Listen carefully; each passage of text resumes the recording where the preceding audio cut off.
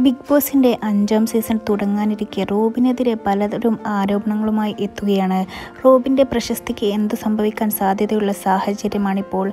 കഴിഞ്ഞ ദിവസങ്ങളിൽ റോബിനെതിരെ ആരോപണമായി നിരവധി പേർ വന്നു. റോബിൻ പൊതുവേദികളിൽ അലറുന്നത് അരോചകമാണെന്നും പലരും അഭിപ്രായപ്പെട്ടു. സോഷ്യൽ മീഡിയ താരമായ ആറാട്ടൻ എന്ന പേരിൽ അറിയപ്പെടുന്ന സന്തോഷ് വർക്കി ഫോക്കസ് മീഡിയയോട് പ്രതികരണം നടത്തിയിരിക്കുകയാണ്. ഇപ്പോൾ വിദ്യാഭ്യാസമുള്ള ആളാണോ? ഇങ്ങനെ പെരുമാറുന്നതെന്ന് സന്തോഷ് വർക്കി ചോദിക്കുന്നു. ഞാൻ പണ്ടേ പറഞ്ഞതാണ് അയാളെക്കുറിച്ച്. റോബിൻ പൈസ കൊടുത്താണ് എം ബി ബി എസ് നേടിയതെന്ന് നേരത്തെ പറഞ്ഞില്ലേ? അത് തന്നെയാണ് കാണിക്കുന്നത്. ഒരു ഡോക്ടർ ഇങ്ങനെയാണോ കാണിക്കേണ്ടത്?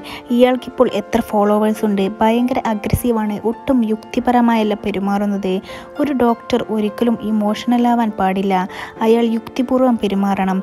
ഇയാൾ എവിടുത്തെ ഡോക്ടറാണ് ഞാൻ പണ്ടേ പറഞ്ഞതാണ് ഇയാളെക്കുറിച്ച്. അന്ന് ഇവരെല്ലാം അറ്റാക്ക് ചെയ്തു. ഇയാൾ എവിടെ നിന്നാണ് എം ബി ബി എസ് എടുത്തത്? വെറുതെ അല്ല എം ഡി എടുക്കാത്തത്?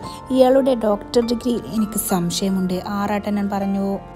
അടുത്ത ബിഗ് ബോസ് സീസൺ വരുന്നതോടെ റോബിന്റെ കാലം കഴിയുമെന്നും സന്തോഷ് വർക്കി പറയുന്നു. ഇയാൾ സാധാരണക്കാരനാണ് പക്ഷെ സ്മാർട്ടാണ്. ബിഗ് ബോസിൽ റണ്ണറപ്പ് പോലും ആവാതെ ഇത്രയും നേടിയതിൽ സമ്മതിക്കുന്നു. കുറഞ്ഞ സമയം കൊണ്ട് ക്യാഷ് ഉണ്ടാക്കി കോടിക്കണക്കിന് രൂപയും കാറും നല്ല പെണ്ണിനെയും കിട്ടി.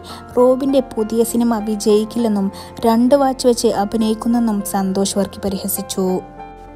കുറച്ച് നാളുകൾക്കുള്ളിൽ റോബിന്റെ ലൈംലൈറ്റ് ജീവിതത്തിന്റെ ഭാവി അറിയാം. ബിഗ് ബോസ് എന്ന ലേബലിനപ്പുറത്ത് സിനിമയിലോ മറ്റോ ശ്രദ്ധിക്കപ്പെടാനായാൽ റോബിന് ഗുണകരമാവാം. ടീ ഗ്രേഡിംഗ് കുറയ്ക്കുക എന്നാണ് റോബിന് മുന്നിലുള്ള പ്രധാന വെല്ലുവിളി. പൊതുവേദികളിലെ റോബിന്റെ പെരുമാറ്റം മാറ്റേണ്ടതുണ്ടെന്നും പലരും അഭിപ്രായപ്പെടുന്നുണ്ട്. മാർച്ച് ഇരുപത്തി ആറിനാണ് ബിഗ് ബോസിന്റെ അഞ്ചാം സീസൺ തുടങ്ങാൻ പോകുന്നത്.